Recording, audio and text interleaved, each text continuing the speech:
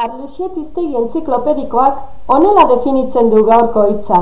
Mizpirondo izena botanikan errosazeoen familiako zuhaitz hosto erorkorra, hosto handi eta eliptikoak eta lore handi zuri eta bakartiak dituena.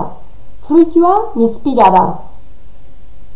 Uzeiren sinonimoen iztegian begiratuta, ondorengo sinonimoak topatu ditugu mizpirondo hitzarentzat. Mizpira, mizpiratze. Hainbat iztegitara jo dugu, beste hizkuntza batzuetan nola esaten den jakiteko. Horra hor gaztelaniaz, frantsesez, portugesez eta ingelesez.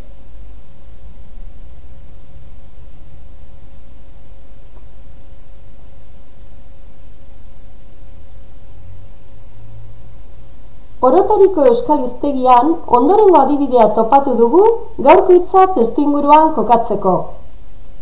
Begiztatua nuen aspaldi mendian, mizpirondo xuxen bat sasien erdian. Geixiago harakatuz, euskomedian jarraipena topatu dugu. Begiztatua nuen aspaldi mendian, mizpirondo xuxen bat sasien erdian.